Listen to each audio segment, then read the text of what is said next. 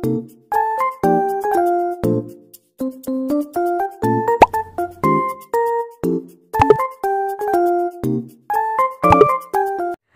guys, kembali lagi bersama aku. Jadi di video kali ini aku bakalan kasih tutorial cara mengubah keyboard Android menjadi keyboard iPhone beserta emojinya.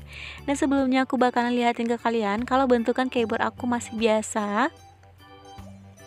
Oke, ini dia aku menggunakan handphone Oppo ya teman-teman.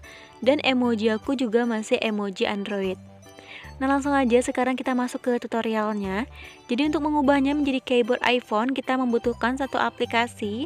Link aplikasinya ada di deskripsi aku jadi teman-teman jangan lupa cek. Oke ini dia langsung aja kita klik.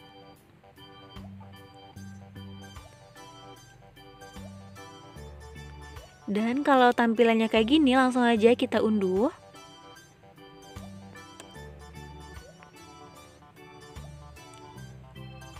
Oke teman-teman ini lagi pengunduhan dan kalau ada kayak gini kita disuruh unduh jangan kalian unduh ya kalian batalkan aja. Oke guys ini aku lagi proses pengunduhan dan kalau udah selesai terunduh dia bakalan terinstall sendiri. Atau kalian bisa cek di file download kalian ya teman-teman. Oke ini udah selesai terpasang aplikasinya. Langsung aja sekarang kita masuk ke aplikasi tersebut. Oke ini dia tampilan awalnya Pertama kalian klik yang switch input method itu. Kita pilih yang green apple keyboard yang English. Lalu kalian klik yang finish. Nah, ini udah selesai teman-teman. Dan kalian di sini bisa atur-atur juga untuk settingannya dan kalian bisa memilih untuk berbagai macam tema. Ini ada 5 pilihan tema ya teman-teman. Kalian pilih terang, gelap, merah, blue dan yang lainnya. Kalian bisa atur-atur juga untuk settingannya di sini. Kalau udah selesai langsung aja kita kembali dan kita lihat hasilnya. Oke guys, kalian bisa lihat ya, ini keyboard aku udah berubah menjadi keyboard iPhone. Jadi mudah banget dan simple banget menurut aku. Itu bagus banget dan mirip. Oh ya guys, di sini emoji aku juga masih emoji Android juga. Kita akan ubah menjadi emoji iPhone ya teman-teman. Cara untuk mengubahnya di sini kalian membutuhkan aplikasi yang namanya itu Zphone 3. Kalian bisa download di Play Store atau cek link aplikasinya di deskripsi aku udah aku taruh ya. Oke, karena aku udah selesai download, langsung aja kita masuk. Pertama, klik yang grant permission, klik izinkan, klik lagi grant permission. Lalu nanti kita akan disuruh ke sini izinkan aplikasi dari sumber ini. Kalau udah kita kembali. Nah, ini kita klik agree. Oke, ini dia tampilan awal dari aplikasinya. Dan kalau ada iklan seperti ini, kita klik yang lanjut ke aplikasi. Kalian pilih yang ini bagian emoji yang iOS 14.6 itu yang terbaru.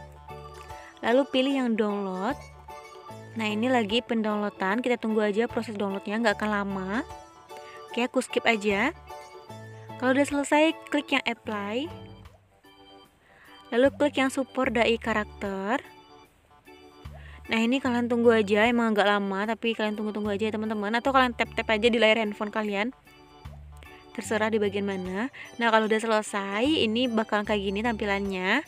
Nah kalian bisa klik yang install itu untuk pertama Oke, ini kita tunggu dulu iklannya sampai selesai. Nah, di sini kita disuruh memasang sebuah tema.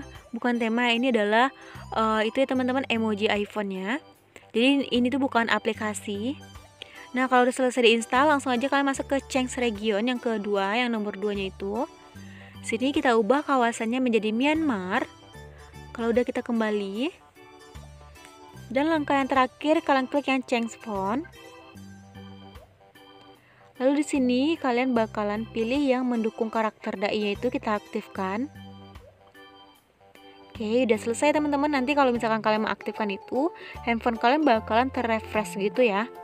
Nah, udah selesai. Sekarang langsung aja kita lihat apakah hasilnya udah seperti yang kita inginkan. Nah, ini keyboard aku udah keyboard iPhone dan emoji aku tentunya juga udah emoji iPhone juga. Nah guys, sekian dulu tutorial dari aku. Semoga kalian suka, paham dan ngerti. Jangan lupa di like, comment, dan subscribe. See you the next video. Bye-bye.